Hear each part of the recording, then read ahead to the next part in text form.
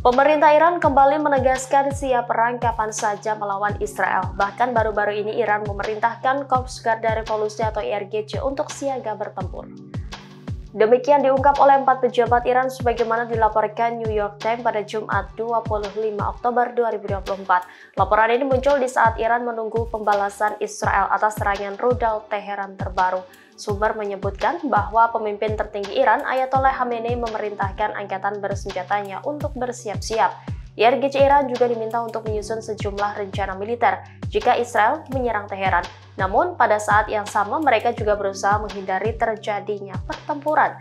Iran disebut akan menahan diri jika Israel hanya menargetkan sejumlah kecil lokasi militer dan depo senjata. Di sisi lain, Iran dipastikan akan membalas jika Israel menyerang situs minyak program nuklir atau menargetkan pejabat senior, termasuk jika Israel meluncurkan hingga seribu rudal balistik atau terganggunya suplai energi di wilayah tersebut.